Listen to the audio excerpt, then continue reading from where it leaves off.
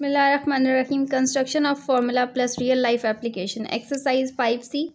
Question number 1 is when loaded with bricks, a lorry has a mass of 11,600 kg. If the mass of the bricks is 3 times that of the empty lorry, find the mass of the bricks. अब इसमें आपके पास empty lorry का भी mess given नहीं है। सिर्फ़ BRICS और लॉरी दोनों को जब टोटल करते हैं तो फिर आपके पास आ, उसकी अमाउंट गिवन है। तो आपने इसको सपोज़ कर लेना है। Let suppose the mass of empty lorry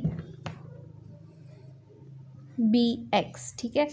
अब जो ब्रिक्स हैं वो इससे थ्री टाइम्स ज़्यादा हैं। तो आप मैस ऑफ़ ब्रिक्स कर लें।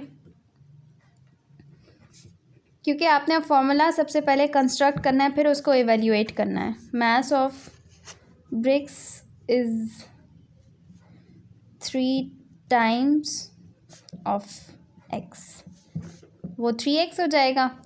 अब इन दोनों का टोटल मैस जो है, वो एलेवन थाउज़ेंड सिक्स हंड्रेड है। तो according to the statement X plus three X is equal to eleven thousand six hundred K G हम लाइक टर्म्स को ऐड कर लेंगे। X and three X makes four X is equals to eleven thousand six hundred coefficient को आप move करेंगे X is equals to eleven thousand six hundred by four अब इसको जब आप डिवाइड करेंगे it's become twenty nine hundred four one time four two time eight यहाँ से थ्री थर्टी सिक्स हो जाएगा नाइन टाइम और ज़ीरो एज इट इज़ ठीक है?